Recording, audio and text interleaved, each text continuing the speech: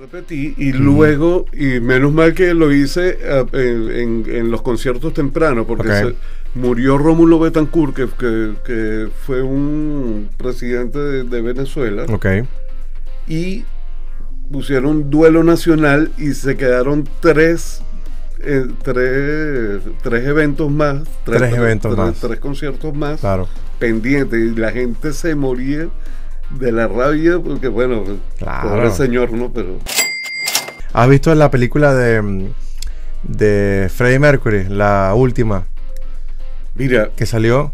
no, la has la, visto? no la he visto. ¿Recuerdas ese, ese, ese concierto? Sí, es que lo, lo recuerdo y muy bien porque, Ajá. porque eh, la- eh, el eh, 85. Correcto. eh, eh, ese era el look que trajo para Venezuela cuando, cuando estuvo, cuando estuvo en, en Venezuela Queen. Ok. Eh, lo, lo vi dos, dos veces. Dos veces.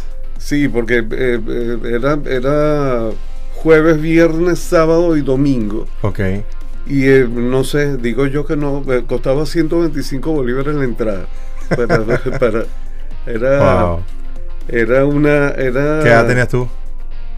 No sé, creo que como, unos 22. Ok, 22. ok.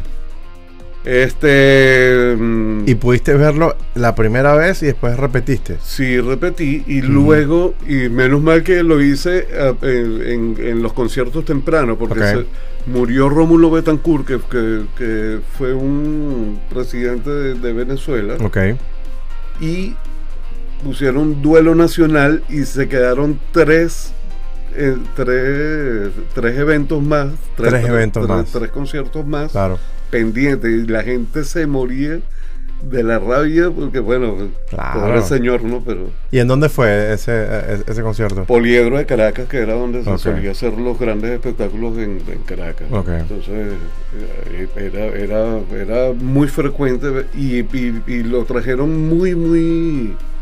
O sea, en el Cuando estaba en el pic. en el, en, el- sí, en el sí, pic. sí. Queen, Queen estuvo en, en lo alto. Claro, en lo alto.